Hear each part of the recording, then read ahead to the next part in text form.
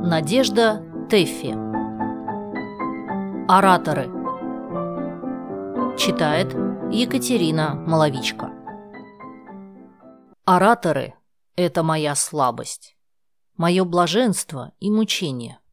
Завидую. Хочу тоже говорить. И не умею. Удивительное это дело. Иногда какой-нибудь маленький корявенький человечек сидит тихо, жует банкетную телятину, да вдруг как вскочит, стукнет вилкой об стакан. И пошел, и пошел. Откуда что берется? Милостивые государи, под этой гостеприимной кровлей, объединяющей могучим куполом, господа, я хочу обрисовать перед вами доступными мне штрихами личность Семена Петровича, которого вы видите сейчас среди нас, окруженного друзьями и семьей, представленной в лице кумовой свояченицы. Вспомните, господа, слова поэта «Казак на север держит путь», Казак не хочет отдохнуть. Вынем эти слова из уст поэта и вложим их в уста Семена Петровича. И что же получится? Не получится ровно ничего. Волны красноречия бегут, набегают друг на друга, гонят, тонут, хлещут, блещут, а потом поднимается другой и скажет задушевно и вдумчиво. «Господа, я не оратор. Слезы мешают мне говорить. Не знаю, что было бы, если бы они не мешали, потому что и с этой помехой он легко и свободно заполняет полтора часа. И чего-чего только не коснется это талантливое существо.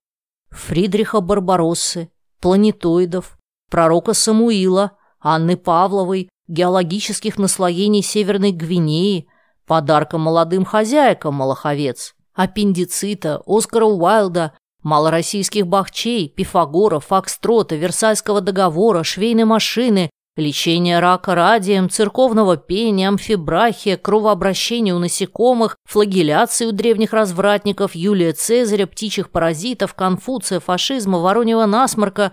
И все это подведет так ловко и тонко, и из всего этого так ясно выведет, что юбиляр Семен Петрович был, есть и будет – замечательным страховым деятелем.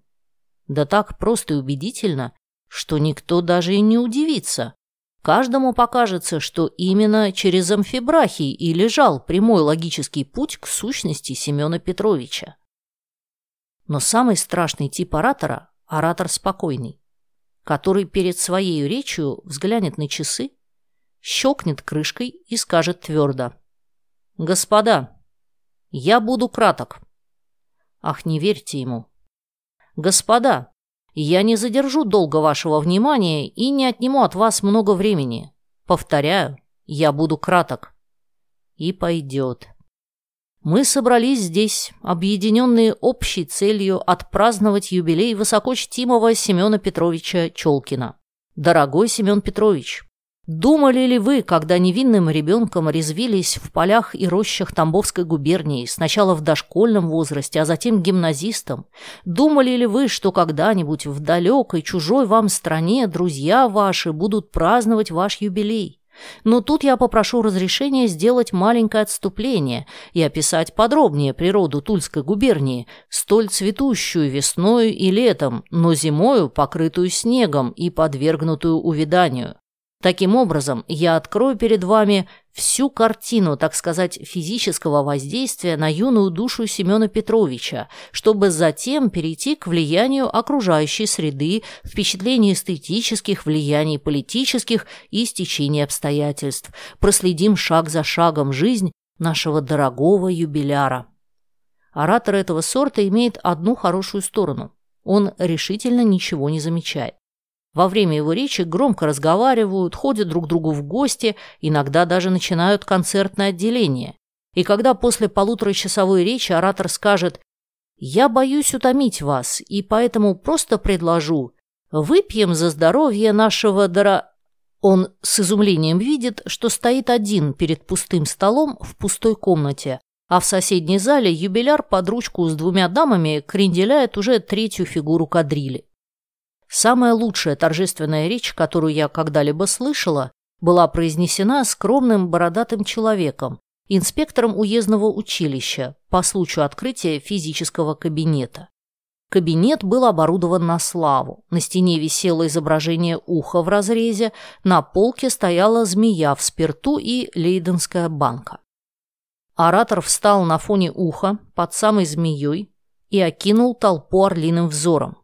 Толпа, два учителя, батюшка, городской голова, человек двадцать мальчишек и я. «Господа!» — начал оратор.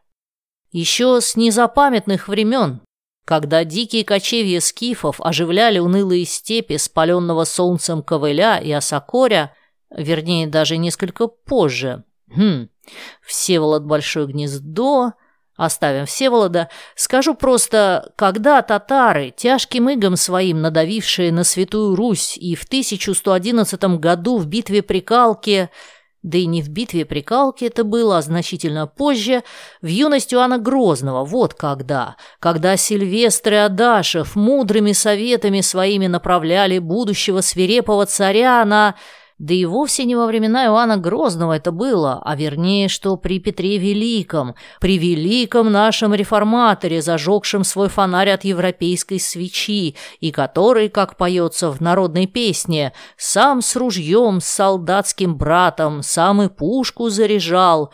Труден был путь молодого царя, но Петр не унывал. Петр... Но при чем тут Петр? Тут скорее Екатерина. Мудрая правительница, матушка Екатерина, одним взмахом пера уничтожившая взятки, окруженная блестящей плеядой сотрудников, преимущественно из высшего общества, Екатерина Великая – да и не при Екатерине все это было, господа, не при Екатерине, а вернее, что при императоре Павле Первом. Да позвольте, Вдруг совсем простым, бытовым тоном обратился оратор в сторону учителей и батюшки. «Позвольте, когда к нам в последний раз попечитель приезжал?» «Два года тому назад», — отвечали учителя. «Как раз два года». «Ну так вот», — радостно продолжал оратор, — «вот уже значит когда.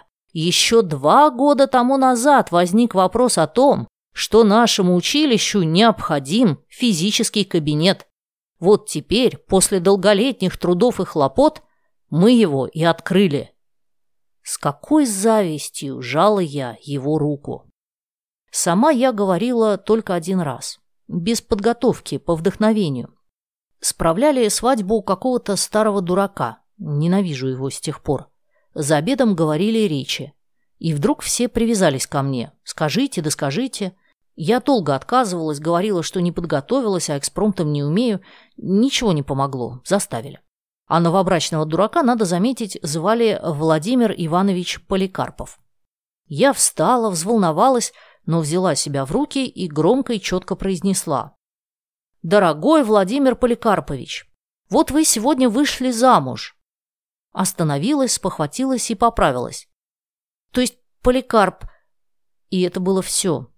И я с ужасом увидела, что больше мне сказать абсолютно нечего. Криво усмехнулась и села. С тех пор я не выступаю публично.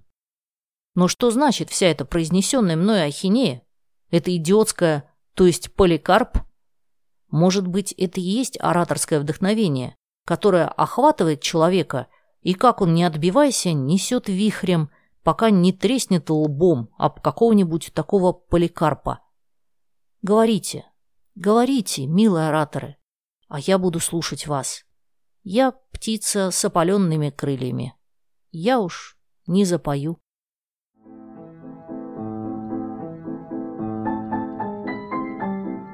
Спасибо, что послушали эту аудиокнигу. Если вам понравилось, подпишитесь на мои каналы «Слушатель» и «История о песнях» в ваших любимых приложениях и в Телеграм. И, конечно, поделитесь с друзьями. Я ценю вашу поддержку.